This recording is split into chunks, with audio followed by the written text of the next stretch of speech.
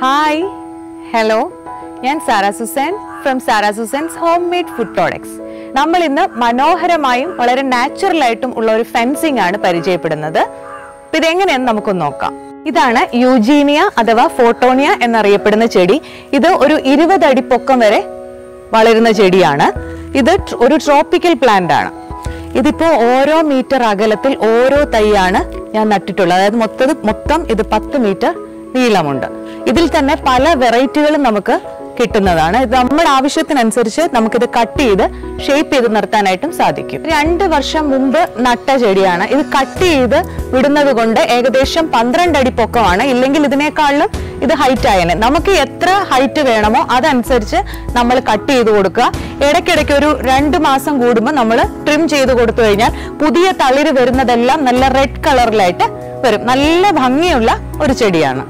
ചെടിയുടെ മറുവശത്താണ് ഞാൻ നിൽക്കുന്നത്. ഇതിന്റെ ടോപ്പ് ഇത് ടോപ്പാണ് ഇത് റെഡ് കളറിൽ ഇത് ഞാൻ കട്ട് ചെയ്തിട്ട് ഇപ്പം ഒരു രണ്ട് ആഴ്ച കഴിഞ്ഞിട്ടുണ്ട്.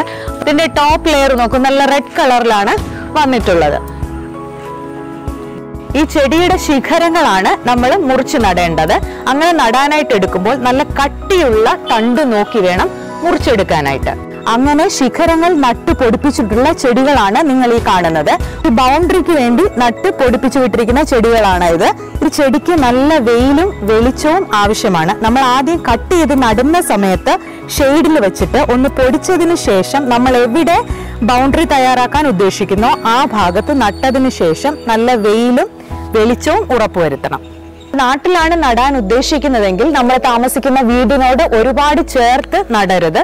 കാരണം ഇഴജന്തുക്കളൊക്കെ കയറിയിരിക്കാൻ സാധ്യതയുണ്ട്. ഇത് ഒരുപാട് ബുഷിയായിട്ട് ചേർന്ന് നിൽക്കുന്നത് കൊണ്ട് തന്നെ വല്ല ഇഴജന്തുക്കളൊക്കെ കയറിയിരിക്കാനായിട്ട് ചാൻസ് ഉണ്ട് ആ ബോർഡറിൽ യൂജീനിയ നട്ടിരിക്കുന്നതിന്റെ കൂടെ തന്നെ ഈ ചെടിച്ചട്ടിയിൽ നട്ടതാണ്.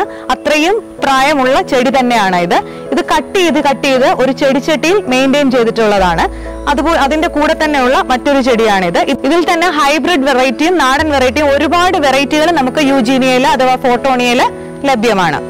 അതുപോലെ തന്നെ മനോഹരമായ അല്ലെങ്കിൽ അതിനേക്കാളിലും മനോഹരമായ മറ്റൊരു ഫെൻസിങ്ങിന് പറ്റിയ ചെടിയാണ് ഹൈപ്രസ് ഇതും ഒരു വിദേശി പ്ലാന്റ് ആണ്. നമ്മൾ ഫെൻസിംഗ് ആണ് ഉദ്ദേശിക്കുന്നതെങ്കിൽ ഈ പ്ലാന്റ് വാങ്ങി നടുന്ന സമയത്ത് ചട്ടിയിൽ നടാതെ തറയിൽ തന്നെ നട്ടുപിടിപ്പിക്കുക. നടുമ്പോൾ നല്ല വെള്ളവും വെളിച്ചവും കിട്ടുന്നിടത്ത് വേണം നടാനായിട്ട്. ഇത് പത്ത് മീറ്റർ മീറ്ററിന് വേണ്ടിയിട്ട് അഞ്ച് ചെടിയാണ് നട്ടിട്ടുള്ളത്. ഈ ചെടിക്ക് ഇപ്പോൾ ഒരു പതിനഞ്ച് അടി പൊക്കമുണ്ട്. ഇരുപത് ഇരുപത്തഞ്ച് അടി പൊക്കം വരെയുള്ള ചെടി ഞാൻ കണ്ടിട്ടുണ്ട്. കറക്റ്റ് ആയിട്ട് വെള്ളം കൊടുക്കണം. ഇല്ലെങ്കിൽ ഇത് മൂടോടെ തന്നെ കരിഞ്ഞു പോകും. നല്ല രീതിയിൽ എല്ലാ ദിവസവും മുടങ്ങാതെ വെള്ളം കൊടുക്കണം. അപ്പോൾ നല്ല ഭംഗിയായിട്ടും നമ്മൾ ഉദ്ദേശിക്കുന്ന രീതിയിൽ നമുക്ക് ഇതിനെ വളർത്തിയെടുക്കാനായിട്ട് സാധിക്കും. ഇതുപോലെ ഹൈറ്റിൽ നിങ്ങൾ ഈ ചെടി വളർത്താനായിട്ട് ഉദ്ദേശിക്കുന്നുവെങ്കിൽ വളരെയധികം ശ്രദ്ധിക്കേണ്ട ഒരു കാര്യം കാറ്റത്തും മഴയത്തും ഈ ചെടി മറിഞ്ഞു പോകാനായിട്ട് സാധ്യതയുണ്ട്. അതുകൊണ്ട് ഒരു പ്ലാസ്റ്റിക് കയറോ എന്തെങ്കിലും വെച്ചിട്ട് ഒന്ന് സപ്പോർട്ട് ചെയ്ത് വേണം നിർത്താനായിട്ട്. വളരെ മനോഹരമായി ഫെൻസിങ് ചെയ്യാൻ പറ്റുന്ന മറ്റൊരു ചെടിയാണ് ഈ വൈറ്റ് ബാംബു. ഇതിന്റെ ലീഫ് വൈറ്റിൽ നല്ല ഗ്രീൻ ലൈൻസ് ഉള്ളതാണ്. നല്ല പ്രൈവസി തരുന്ന ഒരു മുളയാണിത്. ഇതൊരു ഹൈബ്രിഡ് വെറൈറ്റി ആണ്. ഒരുപാട് വെയിൽ ആവശ്യമില്ല. ഒരുപാട് വെയിലായി കഴിഞ്ഞു കഴിഞ്ഞാൽ ഇതുപോലെ കരിഞ്ഞതുപോലെ ലീഫായിട്ട് വരും. അതേസമയം ഞാനിത് ഷെയ്ഡിൽ നട്ടിട്ടുള്ള ഒരു ചെടിയും കൂടെ കാണിച്ചു തരാം. ഇതിന്റെ ലീവ്സ് നോക്കൂ എന്ത് ബ്യൂട്ടിഫുൾ ആയിട്ടുണ്ട്. ഇതിനധികം വെയിൽ വേണ്ട എന്നുള്ളതിന്റെ ഏറ്റവും വലിയ പ്രൂഫാണ് നിങ്ങൾ കാണുന്നത്. നല്ല വൈറ്റ് കളറിൽ നല്ല ഗ്രീൻ ലൈൻസ് വരും. ഒട്ടും തന്നെ കരിഞ്ഞതായിട്ട് വരുന്നില്ല.